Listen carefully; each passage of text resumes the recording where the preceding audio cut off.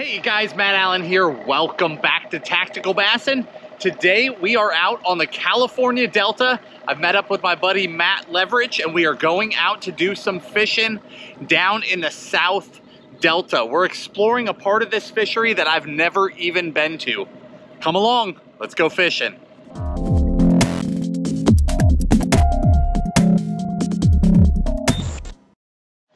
For those of you that haven't been with us for very long, Tim and I used to live in California, and for a long time, for years, I called the California Delta home. But I have not been out here in quite a while. Now, these far southern reaches of the South Delta, that's an area that even a lot of Delta people don't go. So I'm just out here for one day, met up with my good buddy Matt, who loves fishing out here on the Delta, and we're just going on an adventure. It's good to see an old friend. It's good to get out here on the Delta. I have no idea what we're in for, but when I asked him what to plan for, he said, it's the Delta. So I've got a Senko, a frog, a punch rig, and a weedless swim bait. We'll see what happens.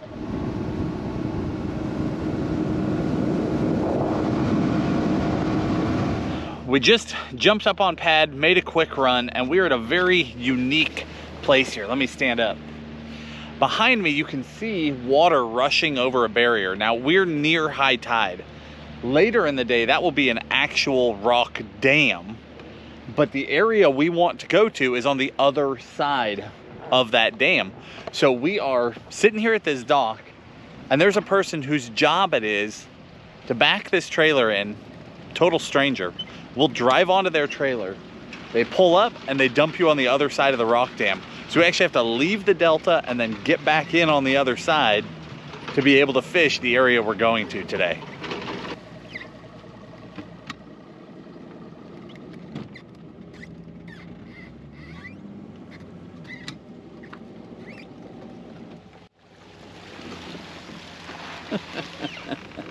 Hyacinth everywhere. You guys can see the water running in back there. So much hyacinth. Crazy.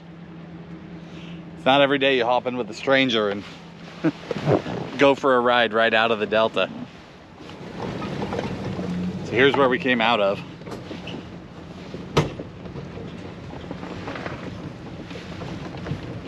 Going back in on the other side.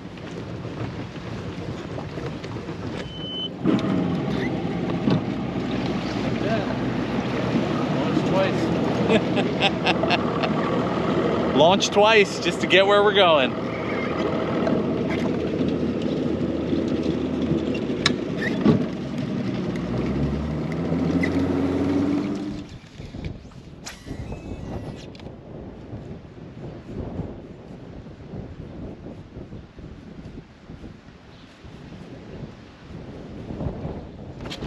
Nice.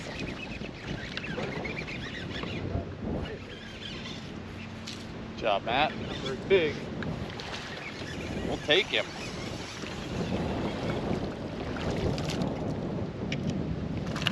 Looks like a fish in the boat. Fish in the boat.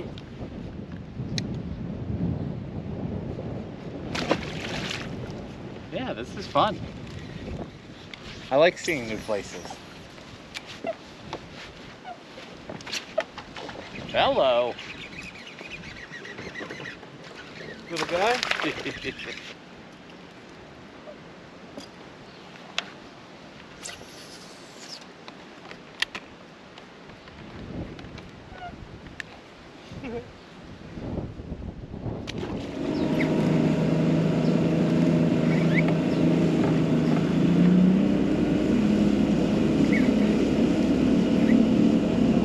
Oh yeah, we'll be alright.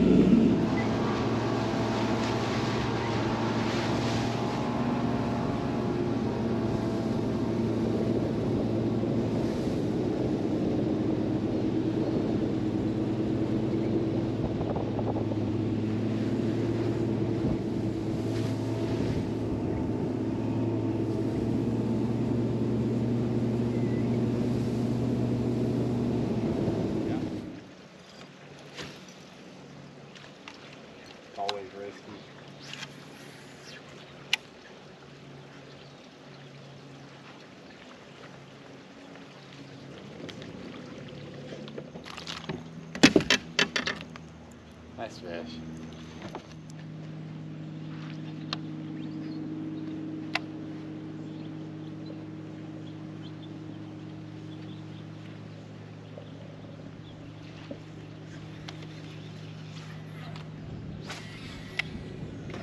Oh my oh, gosh. Oh yeah.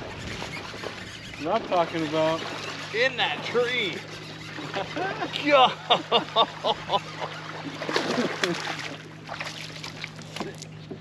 oh, that was cool. Matt has been schooling me for the first couple hours. I'm finally on the board. That was a neat blow up. It was through a bunch of duckweed and hyacinth, but on a lay down tree in the water also. That was fun.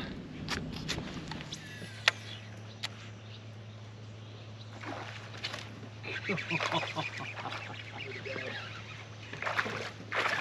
water.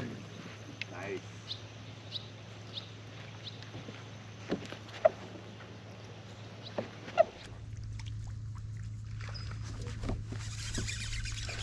Good job, Matt.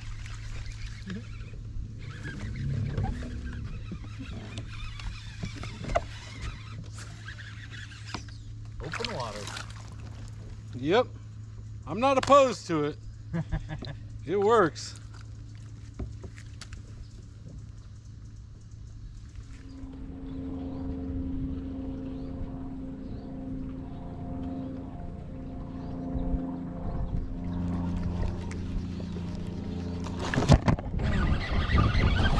Oh,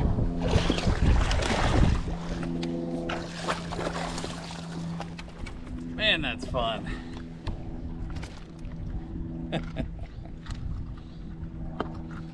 Thank you, friend. Wow, he choked it.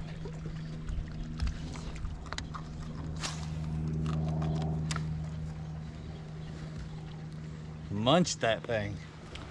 You guys might have noticed that the areas that we're fishing have changed throughout the day. So when we first got out here, uh, we were nearing high tide. So it was still incoming tide, the water was rising, but we were almost at the top. When that water comes in like that, it essentially floods the bank and those fish push back in that cover.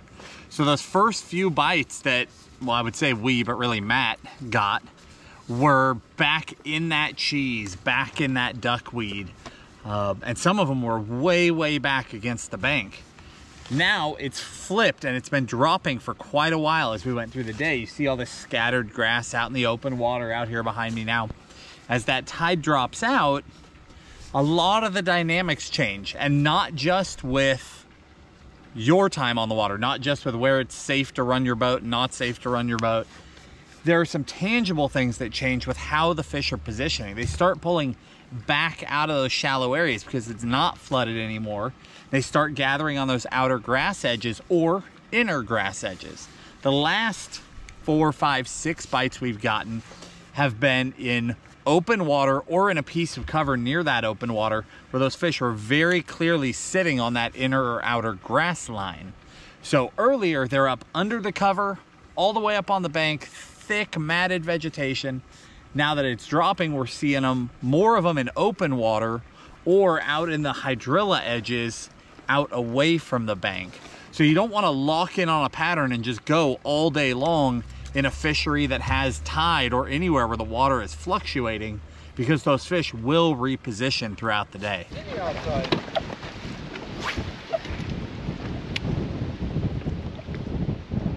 Fish on. Crazy on the inside as well.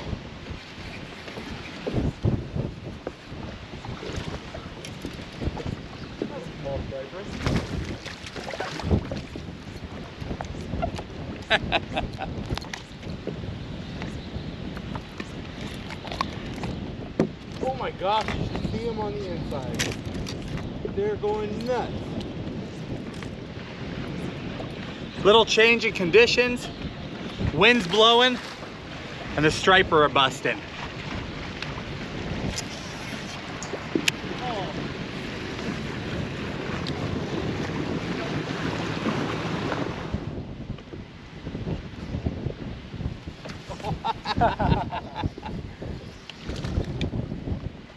Ah, oh, looks like the little one took over. We'll find the right ones. I'm gonna re-rig properly. So the dynamics have completely changed. We've had a slick, calm, beautiful day. At least we did in the morning. Now it is howling. It's blowing 20 plus. We were headed into the ramp, came around the corner, saw just a field of striper busting. Most of them seem to be juveniles, but you never know when there's gonna be a big one in the mix. So we re-geared. Matt went to an exposed hook to the Matt Allen swimbait head with a Keitech. I went to a little underspin. We'll see if we can't catch a few of these fish just to round out our day. Got him?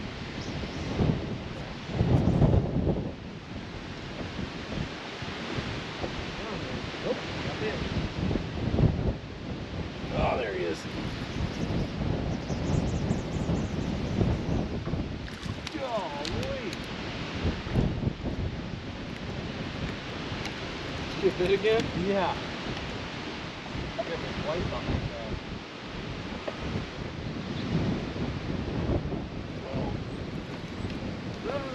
Uh-oh.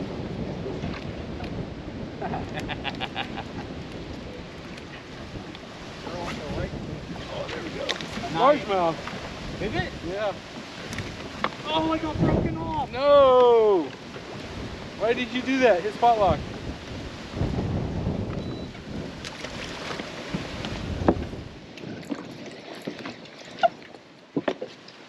Oh, dang it.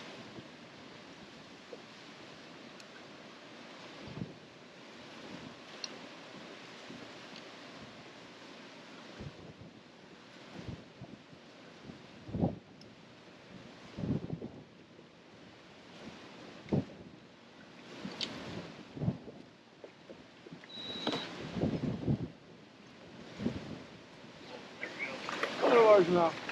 Nice. Makes you feel really good about that loss.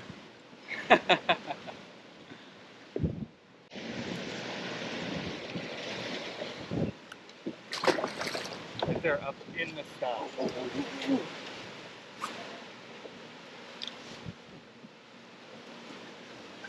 Oh, Get him? yeah. Good job, man. Another largemouth. I don't know how they didn't eat your top water. 'cause I was just spinning that thing right on top. It Seems like a better fish. It was. He's got a bunch of Three or four pounds, probably. They're not shy about eating it. That bait is gone.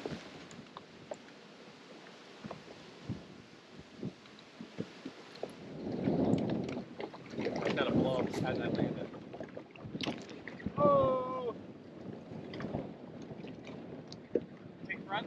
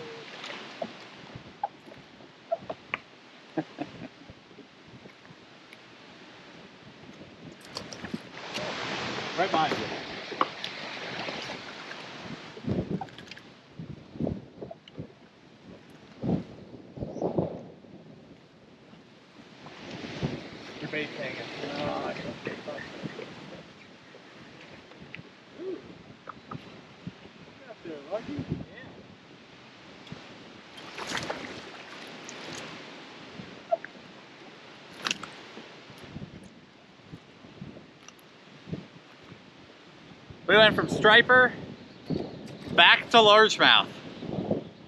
This is fun.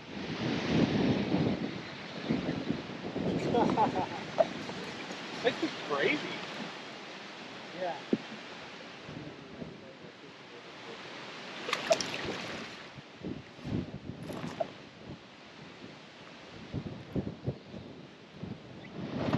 All right, guys, we're gonna wrap it up here. The wind is absolutely howling. It's been blowing 20 plus the last couple of hours.